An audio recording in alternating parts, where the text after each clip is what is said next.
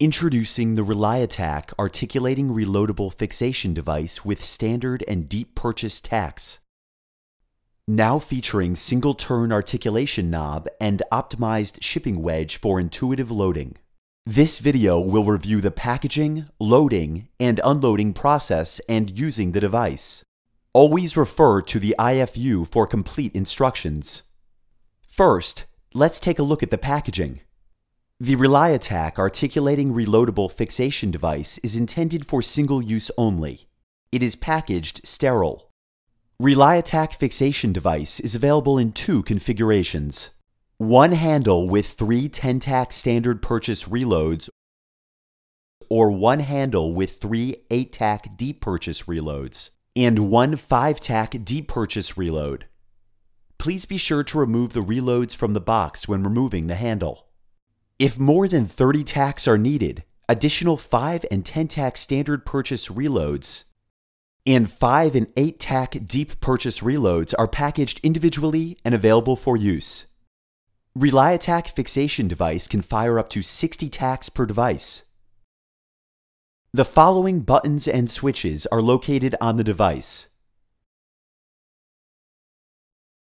The toggle button allows you to switch the device between fire and reload mode. An audible click will be heard when the toggle button is depressed. When held in the unlocked position, the device can be loaded and unloaded. The articulation knob allows the device to be articulated or straightened with a single turn. The pin is inserted into the proximal end of the reload to load the device. The device will be packaged in reload mode. Notice the red toggle button is exposed. This indicates that the device is in the straight, unarticulated position. First, select the appropriate reload. Remove it from the package by grabbing the distal end of the reload and lifting up.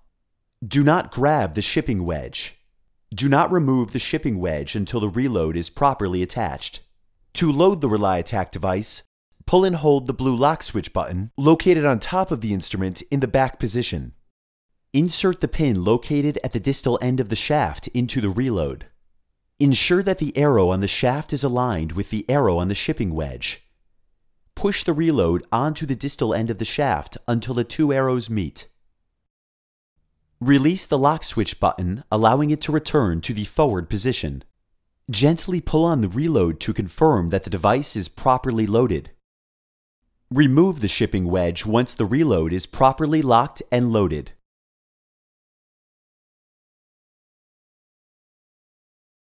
Insert the device through a 5mm or larger cannula. Articulate the device to 65 degrees by turning the articulation knob clockwise with a single turn. Ensure that the device is in fire mode with the green toggle button exposed. Grip the handle of the device and press the distal end of the shaft against the mesh at the location where fixation is desired. Moderate external counter pressure is needed for adequate tack deployment in an articulated position.